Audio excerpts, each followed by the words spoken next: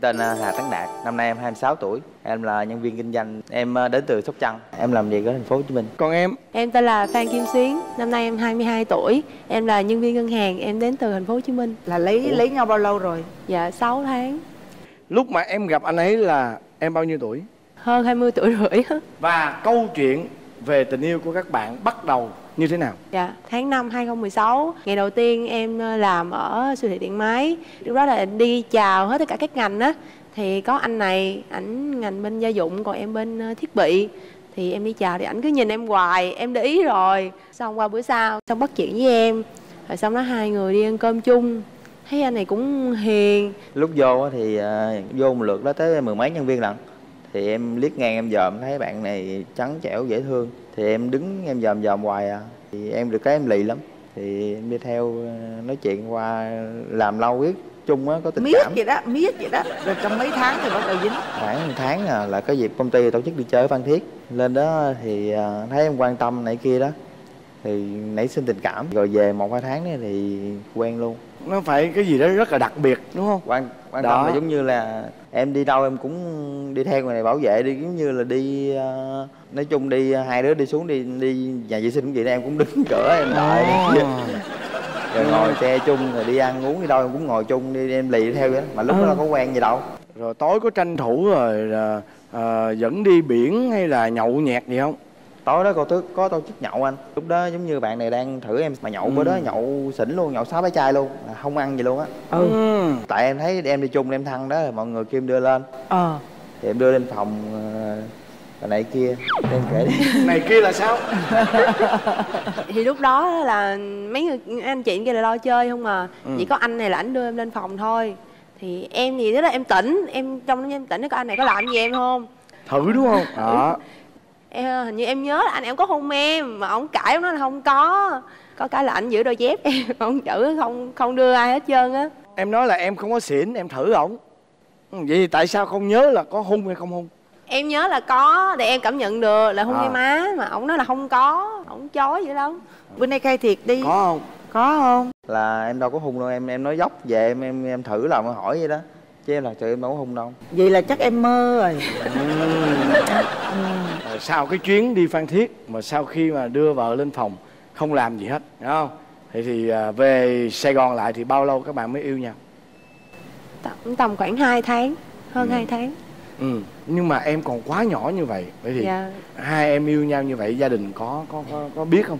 Và có đồng ý không? Ờ, cái ngày mà em dẫn anh về á thì ba mẹ em không có đồng ý thì cái đó cũng là một cái chướng ngại khó khăn nhất với tụi em. Một phần là do tụi em còn nhỏ, thứ hai nữa là do anh này ảnh ờ, như là công việc không ổn định. Thứ nhất, do nhà em ở đây đó giờ thì phải là có nhà cửa này kia nọ đàng hoàng. Thì ba mẹ em mới là gửi con gái cho thì khoảng thời gian đó như là anh này xuống nhà ăn cơm rồi thì ờ, cũng, ba mẹ em cũng như không có để ý tới anh này. Rồi em cũng buồn, rồi ảnh cũng buồn, ảnh mới quyết tâm là ảnh thay đổi công việc. Sáng nào cũng 6 giờ sáng xuống chở mẹ em đi chợ. Rồi xong rồi hai đứa đi làm. Đi làm xong rồi chở em về, đi đâu chỉ cần alo là anh có mặt. Cũng được khoảng một năm mấy thì ảnh thay đổi từ công việc từ nhân viên bán hàng, ảnh qua tới nhân viên ngân hàng. Rồi bây giờ qua bên nhân viên bán xe pho thì ba mẹ em thấy hai đứa có sự cố gắng như vậy thì mới bắt đầu chấp nhận thôi em cũng thương ảnh là ảnh cũng chịu thương chịu khó Còn đối với gia đình em á thì là Đối với vợ em thì như thế nào? dạ đối với gia đình em thì cha mẹ lúc nào cũng ờ, tôn trọng ý kiến của em với lại em sống tự lập từ lúc em đi học ờ, đi học đại học rồi Rồi sau khi cưới về bữa nay là 6 tháng rồi đúng không? dạ Vợ em có cái gì xấu không? vợ em thì không có gì xấu có cái là hơi kỹ tính mà anh với làm chuyện gì cũng muốn làm chung hết trơn ví dụ như vậy em mà giặt đồ đi kêu em ờ, anh ủi đồ đi anh ờ, lau nhà đi làm đủ thứ trơn. Hai chồng làm chung mới chịu làm là ưa kiếm chuyện này chuyện kia cho chồng làm gì đó. Với kỹ tính làm cái gì cũng muốn hoàn hảo trăm phần trăm chứ Bây giờ tụi em là ở nhà riêng ở chung với ba mẹ vợ? em ở thuê nhà cũng ở gần nhà vợ để ờ, lên xuống cho dễ. Rồi bây giờ tới em đó. Anh ấy có thật xấu gì không? Chồng em thì em lấy về em mới mới dở lẽ ra. Là ông này ông nói nhiều quá rất là nhây. Cứ Đó. nói hoài cái vấn đề nói từ sáng đến chiều thì khi hai đứa đi ngủ vẫn nói. Ông này ông ở dơ lắm. Ở chứ hả? nhiều khi á sáng mà ngủ quên á là không có tắm. Và Rồi. em nói còn chói nữa. Em lỗ mũi em rất là thính nha. Em nghe cái mùi là em biết tắm hay chưa liền. Ừ còn mà gì nữa? tối về có tắm không? Có chị. Chứ không tắm em đâu cho ngủ chung đâu chưa là về rồi nghĩa là có tắm. Vậy thì sau khi cưới á em còn rất trẻ. Công việc em thì bây giờ cũng tạm ổn định thôi. Vậy thì sau khi đám cưới về tụi em có cảm thấy áp lực? Cảm thấy bị bị bị bị căng thẳng gì không? Có. Khoảng thời gian 3 tháng đầu em bị stress stress nặng. Luôn lý do? Ờ, do có thể là do là hai đứa em là chưa có chấp nhận được, được cuộc sống hôn nhân. Tại vì hai đứa là kết hôn là bất ngờ chứ không phải trong dự định tại dự định của em là cũng trong năm nay hoặc là năm sau. Thì chồng em thì vô tâm với em, vừa áp lực công việc, rồi thêm áp lực gia đình, rồi thêm chồng mình không hiểu mình nữa. Cho nên là em khủng hoảng lắm. Thêm khoảng thời gian đó như là hai đứa em sống chung với em chồng á, mà cũng không có cách giải quyết như thế nào luôn. Bắt đầu em cắn răng chịu đựng, Rồi ông này em cứ nghĩ là ông biết mà ông không nói, không gì cứ để một mình em chịu đựng cứ đêm nào em cũng khóc. Có nằm ngủ khò khò á, không quan tâm tới em. Lúc đó là chồng em vô tâm cực kỳ rồi đó là khủng hoảng em muốn hẳn em đi dị luôn. Mà mới lấy thôi đó. Dạ đúng rồi. Nhưng mà em không biết à? Đâu phải em biết em biết anh. Thì tại thì đôi khi thì hồi đó giờ mình sống độc thân nó quen rồi. Khi có vợ là giống như nó hơi là bỡ ngỡ bất ngờ. Ví dụ giống như là bình thường mình em về em mưa có thói quen đi làm về em mưa ngồi nghỉ mệt chút xíu vợ ưa về bắt thay đồ tắm rửa liền này kia. Hai chồng ăn đi ở trọ đâu có cần làm dâu làm con ai đâu. Em ăn thì em để chút xíu là gạnh khỏe thì rửa hoặc là mai rửa cũng được. Là tối bắt buộc phải rửa hết trơn mới chịu đi ngủ. Còn độ gì ngày nào cũng bắt giặt hết trơn. Em phái nằm võng mà ưa cuốn võng em lên hoài à. Hơi là mới cưới thì nó có, đó ưa cự cãi mấy Đúng vấn rồi. đề đó thôi chứ cũng đâu có gì đâu.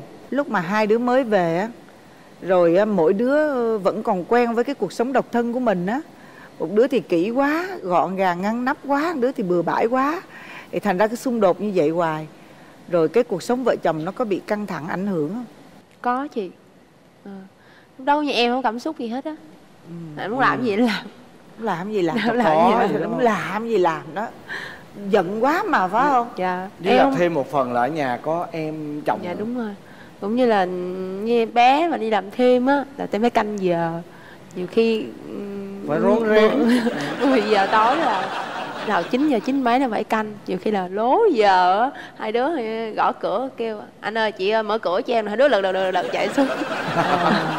Thì cảm xúc rồi cũng không, mấy. Còn bây giờ là giờ thì ở riêng chưa? Hay là Dạ vẫn rồi. còn em? Dạ. bây giờ thì thoải mái chưa nè? Giờ thì thoải mái rồi chị. Bây giờ thoải mái sao? rồi các bạn vẫn Bây giờ quá là- son. Rồi bây giờ à, điều mà em mong muốn anh ấy thay đổi đó là điều gì? Em thì muốn chồng em là bớt nhây đi cũng như chuyện gì mình giải quyết rồi á thì nói một lần thôi. Thế là em muốn là chồng em là quan tâm đến cảm xúc của em nhiều hơn. Em em không muốn nói em muốn chồng em tự cảm nhận. Mà tới giờ thì em chỉ cảm nhận được từ chồng em khoảng tầm 50% phần trăm thôi. Còn em? Em thì mong muốn vợ em bớt kỹ tính lại thôi. Tại vì em nghĩ trong cuộc sống đâu có gì hoàn hảo trăm phần trăm đâu. Thực ra chị chị nói nghe nè bây giờ tụi em mới ờ, sống với nhau được có 6 tháng thôi. Mà hết 3 tháng đầu bị stress rồi. Vợ 22 tuổi là nhỏ xíu à. Còn chồng ở cái tuổi 26 á, vẫn là một cái tuổi quá là trẻ đối với một một người người đàn ông. Đây vẫn là cái tuổi mà đang phải tự khám phá mình, tự khám phá tất cả mọi thứ xung quanh mình. Thành ra là tụi em còn quá trẻ để mà cái cuộc sống hôn nhân mà nó có thể hiểu được nhau liền.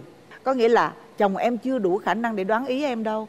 Thành ra em đừng có bắt chồng em đoán ý, mà bây giờ mình phải nói, mình phải chịu khó mình nói những cái điều mình muốn những cái điều mình cần để chồng mình hiểu được cái điều đó để mà quan tâm. Còn về phía chồng á, chồng đừng bao giờ mà ước mơ là vợ bất kỹ tính. Tại vì em có biết không, em gặp một người vợ sạch sẽ là em sướng lắm luôn. Gọi là bản chất của cái người phụ nữ này á, sẽ là một cái người phụ nữ đúng nghĩa gia đình cho em đó.